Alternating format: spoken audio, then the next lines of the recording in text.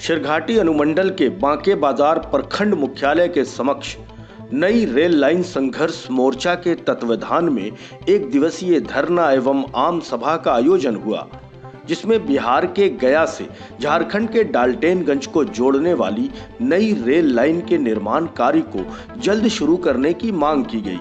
वक्ताओं ने कहा कि गया के गुड़ारू गुरुआ, शेरघाटी, बांके बाज़ार, इमामगंज, डुमरिया तथा झारखंड के छतरपुर होते हुए डाल्टेनगंज रेल लाइन से जोड़ने को लेकर लंबे समय से आश्वासन मिलता रहा है।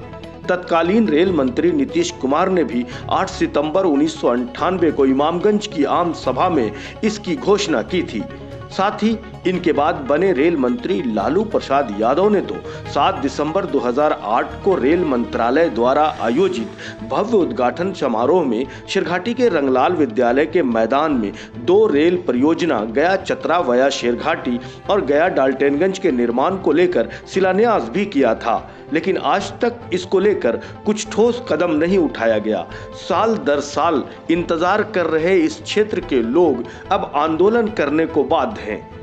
इस मौके पर संघर्ष मोर्चा के केंद्रीय अध्यक्ष बिगन पासवान, सचिव अशोक कुमार, कोषाध्यक्ष बाबूलाल प्रसाद, तारानाथ प्रसाद, प्रखंड प्रमुख अविता कुमारी, जिला परिषद सदस्य कमर अली खान, जिला परिषद सदस्य कौशल कुमार वर्मा तथा शिवनंदन सिंह विक्रम, सत्येंद्र पाठक उर्फ़ मीनू बाबा, मुन्नन खान, मुसाफिर पासवान असलम खान मोहन यादव, शैलेंद्र सुमन, नरेंद्र सिंह दांगी बैजनाथ प्रसाद आदि नेताओं ने अपनी मांग को लेकर जमकर नारेबाजी की।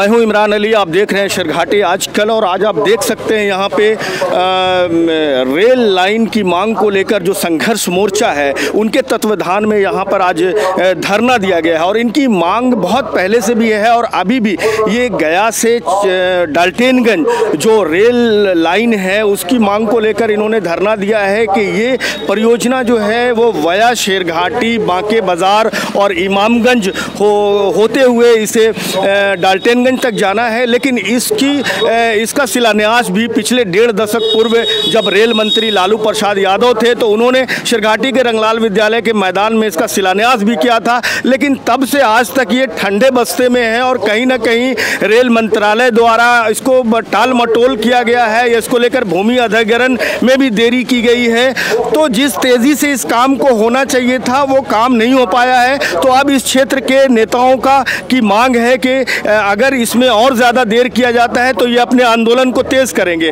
मैं यहाँ पे कुछ जो नेता हैं संघर्ष मोर्चा से जुड़े, मैं उनसे बात करूँगा और आपको सुनाता हूँ कि वो इस मांग को लेकर क्या कहना चाहते हैं। प्रधानमंत्री और भारत सरकार के रेल मंत्री द्वारा मैं जो पूर्व में उन्नीस में रेल लाइन के लिए घोषणा की गई थी, मैं मोर्चा के माध्यम से आग्रह करता हूँ कि गया डाल्टगंज रेलवे लाइन का यथाशीघ्र निर्माण हो। अगर यह निर्माण यथाशीघ्र नहीं होता है तो क्षेत्र बेरोजगारी के मार से झेल रहा है और मैं आग्रह करता हूँ रेलवे लाइन का निर्माण हो और जब तक निर्माण नहीं होगा तब तक यह संघर्ष मोर्चा अनवरत कानूनन और भारत के कानून को पालन करते हुए मैं आंदोलन करता रहूँगा और तमाम क्षेत्र के लोग इस आंदोलन विश्वास करते हैं और रेलवे लाइन जब तक निर्माण हो तब तक आंदोलन चलती रहेगी। है, गया एमपी महोदय से, उनसे बातचीत हुई है। वे जो है सो हमारे पक्ष में है कि गया से गुड़ारूज, आपका गुरुआ, सिरघाटी बांके बाज़ार, इमामगंज, डुमरिया नोडिया छतरपुर दुल्ली, टाली सब होते हुए डाल्टनगंज जोड़ा जाए। इसके लिए उन्होंने हम, जब उनसे व्यक्तिगत बातचीत हुई तो बोले कि जैसा आप कहिए लिखने, लिख करके देने के लिए मैं तैयार हूँ। जब हम जीएम के पास गए थे हाजीपुर, सतीश चंद्र द्विवेदी के पास तो उन्होंने साफ़ शब्दों में बोला था कि बिगन जी, आपका प्रयास बहुत सराहनीय है।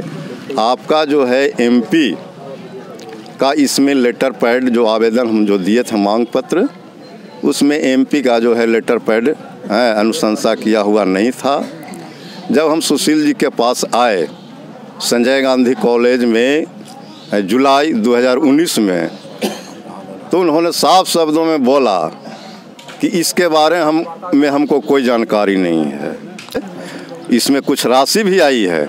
हाँ राशि भी आई हुई है गैर डाल्टनगंज और कुछ जो है योजना के लिए राशि भी आई हुई है। तो कितना काम प्रोग्रेस हुआ है इसमें? क्या, भूमि अधिग्रहण या क्या कहें, कितना दूर काम पहुँचा? है एक महीना पहले जो है सो प्रभात खबर न्यूज़ में आया था कि अब जो है सो ये जनसंपर्क पदाधिकारी राजेश जी हैं, रेलवे विभाग का तो उन्होंने, उनके माध्यम से आया था कि इस योजना को बहुत जल्दी हम सर्वे करा रहे हैं और इसमें काम शुरू करवाने जा रहे हैं। लेकिन उसके बाद तो दो महीना बीती फिर क्यों धरना दे रहे हैं आप? तो कहने से मान जाएँगे क्या? कहने से मानेंगे नहीं ना? 2008 में तो शिलान्यास हुआ था। बारह तेरह साल बीत गए तो कभी भूमि अधिग्रहण हो रहा है तो कभी रुपया आ रहा है। उन लोग की जो रवैया प्रशासन के है ना अभी मैं क्या कहूँ आपको इतना आंदोलन तेज करेंगे कि रेल चक्का तो खैर कहाँ कहाँ जाम करेंगे जीटी रोड कहाँ कहाँ जाम करेंगे। अभी हमारा जो आंदोलन जो है शुरुआत है शुरुआत हुआ है। उन लोग क्या कर रहे हैं सब हम लोग देख रहे हैं। क्या एमपी हमको सहयोग कर रहे हैं क्या विधायक सहयोग कर रहे हैं सबको बारी बारी से हम लोग क्लास लेंगे। जितना जो जनता बैठे हुए हैं ना क्लास लेंगे बढ़िया से उन लोग को क्लास लेंगे। आपका नाम क्या पद है आपका? हाँ मेरा नाम बिगन पास पासवान हुआ। इस रेलवे लाइन निर्माण संघर्ष मोर्चा के जो है हम केंद्रीय देखिए आज जो हम लोग एक दिवसीय धरना प्रदर्शन में बैठे हुए हैं इसमें हम लोग का यही मांग है कि 2008 में 2008 में जो माननीय पूर्व रेलवे मंत्री लालू प्रसाद यादव जी के द्वारा यहाँ पे शिलान्यास किया गया था।